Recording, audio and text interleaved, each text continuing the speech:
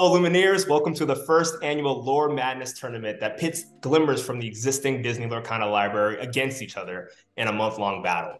You, the fans, will visit loremadness.com and vote weekly on each matchup to see your favorite cards move through the bracket. At the end of March, only one beloved character will be left standing. We have a wonderful panel of Lorcana creators to provide commentary and predictions on the matchups, like your favorite sports show. But we're not talking athletes, we're talking Disney. Stephanie, who do we have today to cover round one? Yeah, today we have with us the Illumiteers, Aaron and Liam, and we're so excited to have them join and uh, give them give us their commentary on some fun matchups we have.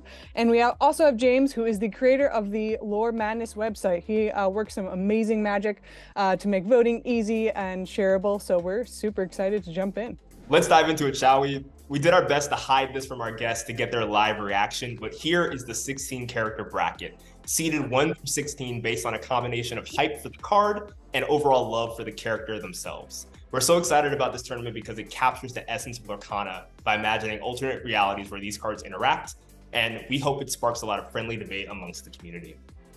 Golly, look at that. Woohoo! Looks like Street Fighter.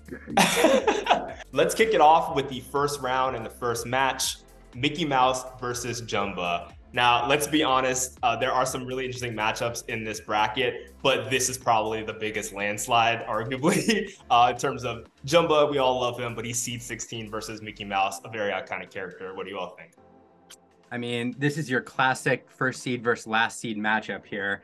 I mean, Jumba is beloved by some people uh, of the Stitch generation, but unfortunately for him, Mickey Mouse crosses all generations. And so I think Mickey Mouse has this in a landslide. Yeah, I mean, I think if you, uh, I feel like we have a little bit of a David and Goliath situation going on here. And to be honest, there are arguments for each of these being the Goliath. I mean, if you actually thought thought about a mouse versus Jumba, like I would go with Jumba. However, this is not just any mouse. This is Mickey Mouse, and he is the OG, and therefore I'm gonna have to go with Mickey. But get your votes in there, Jumba fans. Maybe he'll take it. I don't know. Know. I know. Moving on to match two in the first round, we have a much closer race between Mulan and Aladdin. Um, now, what something that I noticed between these two is that I think they both represent sort of an early uh, exploration of Disney into other cultures, and uh, Mulan being Chinese culture, Aladdin being Middle Eastern culture, and it represents something really important to people who grew up without that representation. Having those characters mean something to them. Yeah, absolutely. Um, I didn't actually, as you paired these two up, I wasn't thinking about that, but I can definitely see it. Um, between the two, I mean, just Mulan is such an amazing uh human being and um she's just such a powerful character and so and although Aladdin is great in his own right I'm gonna have to go girl power and uh vote Mulan with this one. I mean what a fascinating matchup and it's exactly what you'd expect at eight versus 9 mm-hmm. two characters from around the same time frame both of whom as you said uh, represent different cultures around the world and both are characters trying to pretend to be something else. Um, you have prince ali who's disguising himself as a prince and then you have mulan who's disguising herself as a soldier uh, trying to be somebody that they're not and at the end of the day uh, they reveal who they are to the world and then are accepted for their true selves. So um, this is a this is a fantastic matchup. At the end of the day, though, um, I'm going to have to go with Aaron, and uh, I think uh, Mulan is my favorite to win this. Mm-hmm. Um, but um, I, this is going to be probably one of the tightest battles uh, that you'll see. I mean, she was trained by the Chinese military, so I think that I think that she's got it in that. Perhaps. Stephanie, what do you think? Yeah, I think I. I mean, so if this was a different Aladdin, if this was not Prince Ali, if we maybe had a Floodborn version of Aladdin or his normal Aladdin self, I may be tempted, depending on which Aladdin it is. But Prince Ali is kind of annoying. Uh, and we only get one cool song from him during that time. And it is a great song. But Mulan is just amazing. And she saves the world and the Emperor. And I mean, Mushu always wins in my book. And since we don't have Mushu yet, I'm gonna go with yeah, Mulan, girl power forever. Yeah, and Christina Aguilera sings her song, so you know, in the credits. Best. Yeah. Uh, and I think overall, the group all agrees that Mulan is the favorite amongst these two. I think it's going to be tight in terms of the voting, but I also have a personal just love for Mulan and what she stood for, the sacrifices she made. Uh, I'm all Mulan on this one. Yeah, she's such a powerful female, I feel like, role model. Like, I remember being a little girl seeing Mulan, and she was like a Disney, she wasn't a Disney princess, but she was like a female character in a Disney movie that you wanted to strive to be as a young girl because she was just so powerful and independent and had her own thoughts and ideas about things. All right, for match three, we have another interesting matchup between Aurora and Magic Mirror. Now, uh, Lumineers, I know you all have a famous video diving into Aurora. I'm curious what your thoughts are here in this matchup. I mean, I, I think you can probably guess it. This is four versus 13, and we're going to go, I think, both of us with number four. Speak for yourself. I have my own thoughts. Oh. um, I'll start that. Yeah. No. Um, no, I'm gonna go, and I will go with number four. Then, I mean, Magic Mirror is iconic, and you may have some votes there from the older Disney generation who grew up with Snow White. Um, but uh, it's Aurora for me. Number one, she's you know a beloved character. But number two, out of everything we've seen in Lorcana so far, this Aurora breaks the mold of her original self. Not many people know the original Aurora only got 16 minutes of screen time in her own film not a lot of time for character development. So this one right here, I'm excited for. The Magic Mirror is the Magic Mirror, but this Aurora breaks the mold, and I think she's going to break out of this match uh, with a strong lead over Magic Mirror. Um, yeah, I'm going to play a little bit of devil's advocate here because although I know I'm probably fighting a losing battle, I mean, if you think about the Magic Mirror, the Magic Mirror, because of the Magic Mirror, the huntsman went and hunted down Snow White. I mean, this is a character who is or an item. It's, the debate between character and item continues. This is an item that that knows knows what it wants and goes for it. Um i love aurora. Do not get me wrong. One of my absolute favorite cards. Yes we have an entire video about her. And um she is she's my girl and i will stand by her. But i might have to go with a magic mirror on this one just because there's it's so menacing and um yeah it does such damage in its film that i think um yeah i think i'm gonna go with it it's a bold move cotton I um I, I am very torn on this matchup personally. Uh, I see points from both ends.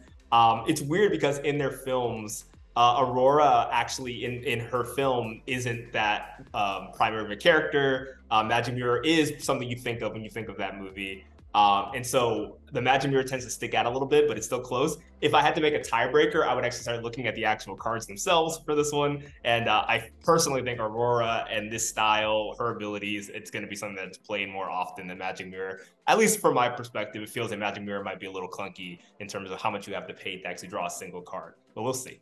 I'm, I'm going to go with uh, Aurora just slightly on this one. Moving into match four, we have two iconic villains matching up against each other, Hades and Captain Hook. Uh, this one's really tough for me personally, so I'm going to go ahead and defer to the group and let them talk first. Golly, I- I'll tell you, for me, other than Mulan versus Aladdin, this is probably the tightest matchup that we see uh, in these brackets. Um, here you have villain on villain. You have iconic villain on iconic villain. Mm-hmm. Um, honestly, what this is going to come down to, I think, is the generation of people that are voting. Um, if you grew up with Hercules and you watched that a ton uh, as, a, as a kid, um, I think you're going to go for Hades. Uh, if you grew up with Peter Pan, I think you're going to vote for Hook. Um, this all comes down to who shows up to vote. Um, for me personally, I think I vote for Captain Hook. I think he has the edge only because he's been around longer and he's a little bit more iconic of a, character and has appeared in numerous different iterations of, of the Peter Pan franchise, including Hook. Um, not a Disney film, but uh, I can see either one running away with this. Um, yeah, uh, agree with everything Liam just said. This, I mean, this for me is probably even harder than um, Mulan and Aladdin. Um, going with my gut, I'm gonna have to go with Captain Hook. He has been one of my favorite cards since the preview cards were released, and I continue to absolutely love him. And I just, I love this version of Hook because he looks so menacing. He's a little bit of a goof in the film itself um and kind of comedic relief but he this is this is a hook I do not want to cross. So I'm going to go with Captain Blade of Doom hand for this one. And if you don't get that reference, check out one of our videos. To your to your last video, actually, Steel needs love. So go ahead and uh, and check that out. No, I, I'll just I'll add on if if there was a tiebreaker here, it's looking at the cards and their actual abilities. Um, you know, Captain Hook is going to be a great card early, I think, on the board. Um, and it's going to help you out. But Hades is probably the win condition uh, for a deck built around him, and so um, he's he's the king, uh, where Captain Hook is more of a knight or a rook. And um, uh, I think that uh, that could be the tiebreaker here, um, if we were looking for one. But are you still going with Captain Hook? I am. Moving into match five of the first round, we have a rather fun matchup just by the likelihood of the seeding. We have Elsa at number two versus Olaf at 15. Now, it could be obvious that Elsa would be a favorite because of where she is in terms of the iconography of Disney and princesses. But I think Olaf also has a huge audience, and there's a chance, there's a chance that our audience is quirky enough to go the Olaf route over Elsa. I personally am biased because I think Elsa is my favorite card amongst the um, cards released so far. Yeah, I mean Elsa versus Olaf. This matchup's cold. Um, I think I agree with your assessment, James. I think that um, this this on first blush seems like it's Elsa hands down, but um, Olaf does have a huge fan base, and where there's a bajillion Disney princesses, there's only really one talking snowman, and so perhaps perhaps Olaf can squeak out a win here. Um, for me, uh, what pushes me towards Elsa, and and that's where I'm going to go with my vote, honestly, um, is this depiction of Elsa. Um, she has this spell book we've never seen before. The art is amazing. It's gorgeous, and uh, she just has this stoicism. Um, I think she's a fantastic character, and and that's my vote. But to be honest, I think this could be a toss up. Yeah, I agree with Liam. Um, again, um, much as it pains me to. No, um, I I agree with Liam. Uh, I absolutely love this art of Elsa's. It was probably um up there again in my my top two favorite cards when they released the original six preview cards, and I feel like you cannot go against the Queen herself. I mean, you know, don't vote against Beyonce and don't vote against Elsa. Just let the queens be queens. And um, so I'm gonna go with Elsa on this one. Oh, now that you compared Elsa to Beyonce, it's over. Automatically, Elsa wins. I'm gonna have to just throw in my vote vote for Olaf. I love Olaf. I mean, he's just the best. Um, and yeah, I mean, we'll.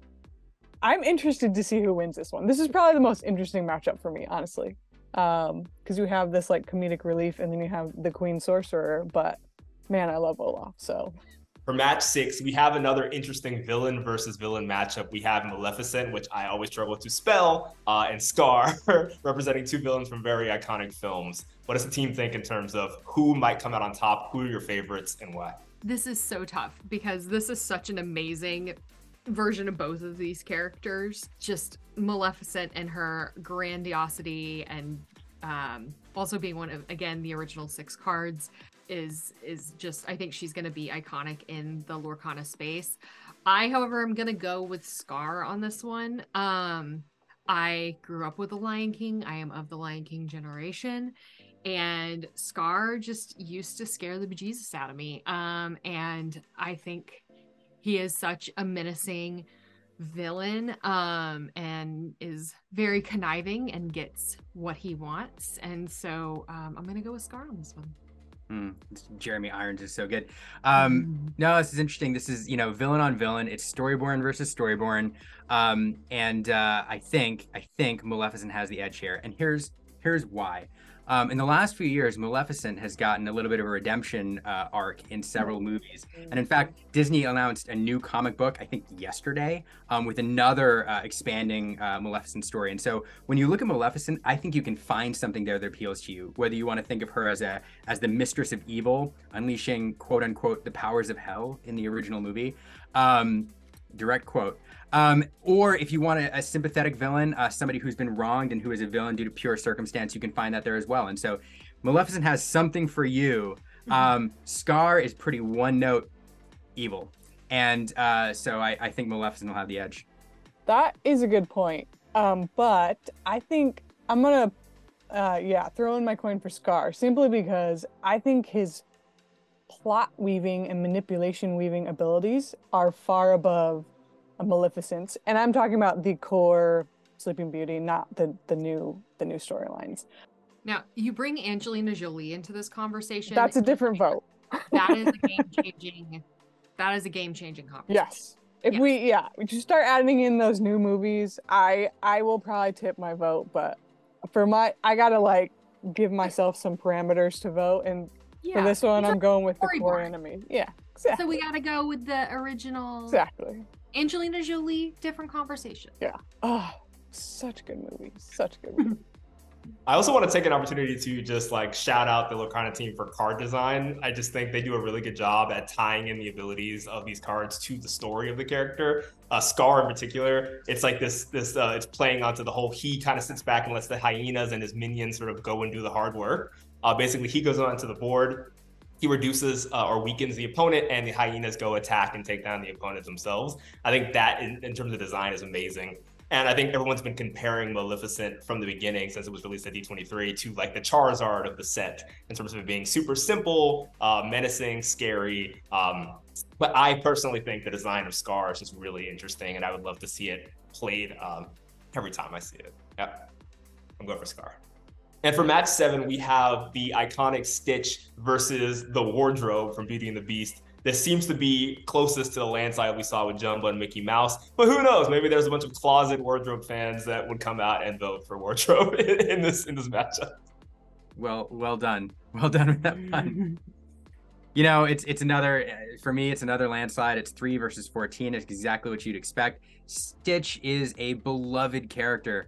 Um, if you grew up, you know, in the in the aughts, um, you loved Stitch. He's endearing. Uh, he's dangerous. He's semi indestructible, except he he drowns um, uh, in in water. Um, the wardrobe, you know, it could get some sympathy votes. Here you have a character who, due to no fault of her own, was cursed and forced to live as a wardrobe with moths in her drawers for for years and years and years. So perhaps this is her chance to to shine. Um, but uh, at the end of the day, I, I think there's no way uh, that Stitch doesn't take this one. Hmm. Well, I'm coming out of closet as a wardrobe fan, and I'm going with the wardrobe. I- I don't really have any reasoning besi- behind it outside of the fact that I absolutely love her in the movie. She is the one who like comforts um, Belle on her first night in the castle, and is just a really great, really great friend in a really dark and scary place. And although I love Stitch, I just love the wardrobe. I think she's wonderful. And it might be because she's the new shiny thing. And I'm super excited to see the rest of the Beauty and the Beast characters in the set. So I'm going to go with the wardrobe, hoping that where there is one, there is many. Um, but yeah, I I love her. Nice. I mean, I'm hands down Stitch. This is a landslide for me. The Floodborn hero rockstar take on Stitch is amazing, and we saw a little bit of that in the first movie when he was Elvis. Um, and just taking that further and making him with this flying v, v guitar is amazing. And I'm super excited to see what other Stitch cards are coming out. Yeah, I totally just wanted to make that closet pun. Uh, I'm definitely Team Stitch. I almost named my dog Stitch. I, I love That's Stitch. awesome. the wardrobe. I was gonna do a Stitch voice, but I didn't practice. This is my family. It's little and broken, but it's still good. Oh my god! That was amazing. And we are down to the final matchup, match eight of round one, which is between Robin Hood at seed six and Cruella at seed 11. Even though there's a little bit of a gap between these two, I'm curious if it'd be a tighter race than it might seem, uh, just based on, like Liam said earlier, generations and when they watch these films or not. Um, what do you all think? What's, what's your favorite of the two? This is absolutely a tighter race uh, than than six versus eleven. Uh, this one is neck and neck, uh, like Aladdin and Mulan. In fact, this might be tighter than Aladdin and Mulan. Here's the thing: if you grew up uh, in in you know in the 60s, 70s, I mean, Robin Hood is is iconic. Uh, you love it. You also love Cruella. But once again, Cruella had a redemption arc with Emma Stone coming in and trying to provide the newest generation, the youngest generation, with a new version of this character. And so Cruella appe- appeals to multiple generations, um, and she's just an all around great and evil character. Robin Hood is a fantastic character. I love him to death. I love that movie. We've only seen one iteration of him. And um, at the end of the day, I think that's going to put Cruella over the top. Um, I'm going for an upset here 11 over number six. I think Cruella is going to take this over Robin Hood. You're forgetting the Kevin Costner movie. Or Russell Crowe. Yeah, it's not not a fox. They have to be a fox, I guess.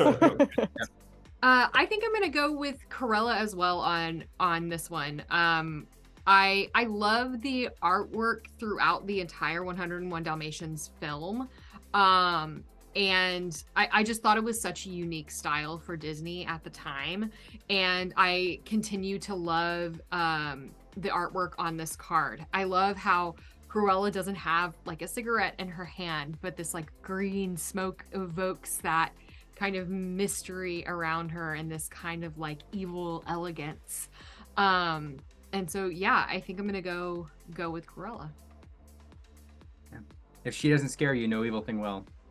I'll be honest. Um, I am going to be kind of biased and maybe uh, make a bunch of Disney fans angry. Um, I grew up maybe not being into um, 101 Dalmatians because of Cruella, and she kind of turned me off and scared me. And so I never rewatched it. Uh, as an adult or as an older person, human being. Uh, Robin Hood has always had a soft place in my heart. Had the VHS tape, watched it all the time. I love the concept of steal from the rich, give to the poor. I think that's just timeless. And so I'm personally gonna go with Robin Hood, but I totally get the love for Cruella.